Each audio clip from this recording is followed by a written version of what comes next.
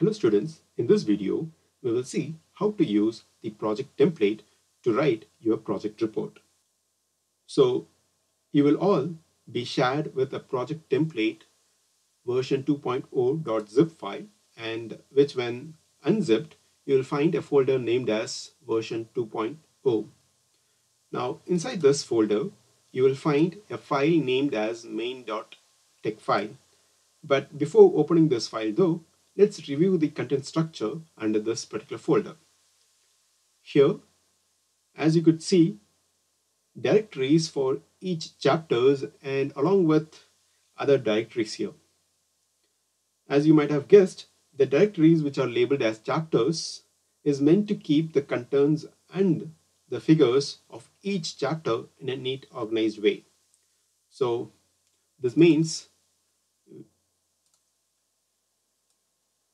inside each directory you will find a .tex file which with only the content part and it will not include any class definition and the preamble section. So basically the class and the preamble uh, section are all defined under this main main.tex file and the content part of which supposed to be defined between the begin and end document environment is distributed in these dot .tex files available under each of these directories. And these contents that are being defined in this dot .tex file are basically being called within this main.tex file through appropriate commands and are being placed between the begin document and the in document variable of this main.tex file. So in short, this main.tex file is the master document and we will write the content of each chapter in this chapter.tex file which are available under each chapter directories and they are being called through this main.tex file. Okay, so let's visualize the discussion by opening this main.tex file with TeXmaker editor. So this main.tex file has been linked to other chapters in terms of which have been included in terms of .tex files could be visualized on the left panel here. So you could think of a tree structure where this main.tex file acts as a root and all the chapters can be thought something like a branches. So to define the same to this uh, LaTeX editor, which is the TeXmaker, uh, one has to go and click on this options and select the option to define the main.tex file as the master document. So select this option and click on it. Now, as said in the previous video, the space between this class declaration, which is in this case, it's a book class that we are using, and the begin document statement, which is over here. Okay, so so what are the space that I have between this class declaration and this begin document? So those space is called as the preamble section. And the space that we have between this begin document and this end document, we call it as content section. So in order to work with this report class, we basically have to define some of the document related commands of EC project package and one could broadly classify those command sets into th three categories. So the first command or the first category of command we call it as student related commands and the second one is the guide related commands and the third one is the esteemed members related commands. Let me show how to use these commands in the template. So first let us look into the student related commands. As you can able to see that each student is designated with some sort of student name command and his or her associated uh, USN related command as stu usn. So over here, here the student name A command and the student USN A command definitions are mandatory while the other commands ending with B and C are used based on the number of people who are there in the project group. So it means if there are two people in a group, the next hierarchy should be given to the commands ending with B. And if there are three people, which is the maximum limit of any project group, can use all these commands under the student related command set.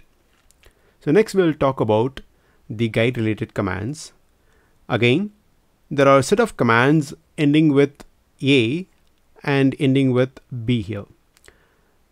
The commands that are ending with A is mandatory and are used specifically for internal guides.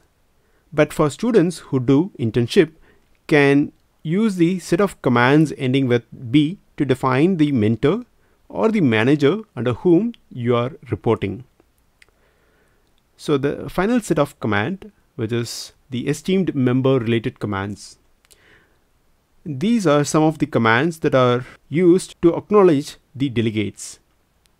So all these commands definitions can be changed according to your requirement, but any changes that you do to the values of these commands ensure they are being enclosed properly between the curly braces. So let me switch over to the TeXmaker. So here you could able to see this document related commands, right? And uh, these commands are basically from EC project packages and these commands in turn automatically defines the certificate page, uh, declaration page, acknowledgement page, and even the title pages. Okay, so say for instance, uh, if in a project there is only one person who is involved, then uh, you have to define only the student related commands ending with letter A. And doing so, this package, the EC project package, will automatically frame the declaration and even the acknowledgement pages with I rather than a V word here. Okay, so let me demonstrate it by commenting the student related commands except for the one that is ending with letter A. So I'm just going to comment the student name and USN of B and C.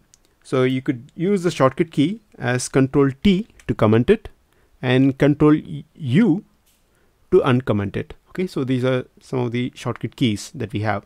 So before I click on this uh, quick build, I just want to see the settings that you and me are having the same settings, right? So what I do is that I'll just click on this options and go to this configure TeXmaker and go to this quick build option and ensure that we initially have this uh, first setting being enabled and later on once we get into uh, the bibliographic settings then we'll switch over to the second option that we have here. But as of now we'll just hold with the first option and then uh, ensure that you you also have the same similar option as of now and click ok here. Yeah so now that I've commented out the student B and C and let us see. When I click on this quick build does this EC project package can automatically reframe the uh, words wherever we had V with I as well as ensures that only student name of A and the USN of student A is being reflected on these pages. Okay, so let me click on this quick build and see what happens. Yeah, so in the front page we have only one student and uh, later on if you go back to certificate page again you have only one student name being reflected on it and yeah as I said in the declaration as well as in the acknowledgement, wherever we had we, when I had more than uh, two people in a group, I had a V letter here. And right now, since I, uh, it is only one student in this project group, it has changed from V to I. Okay. And, and all other names have been removed automatically. So hope you're clear to make the changes according to your requirement. And uh, in the next video, I will explain about how to write the content and insert figures and tables into the document along with a way to reference them back into the document. So thank you for watching this video.